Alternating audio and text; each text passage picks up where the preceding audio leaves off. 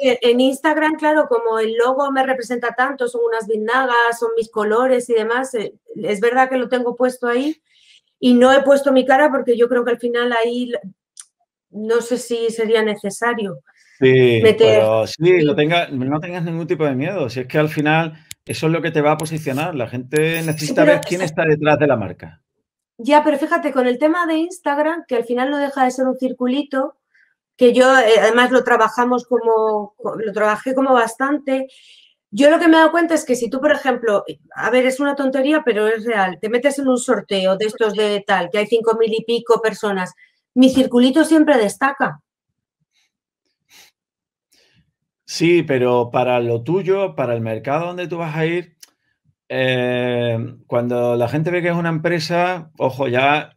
Ya. No es, a, ti, te interesa hacerte fuerte tú. Si tú, tu marca, la marca Ivonne, la haces fuerte, eh, se puede tambalear tu agencia, tu negocio, que, que tú vas a salir siempre reforzada por otro lado. Por eso es importante no esconderte detrás de la marca. Luego Ivonne es la responsable, la CEO, como le quieras llamar, de la agencia tal.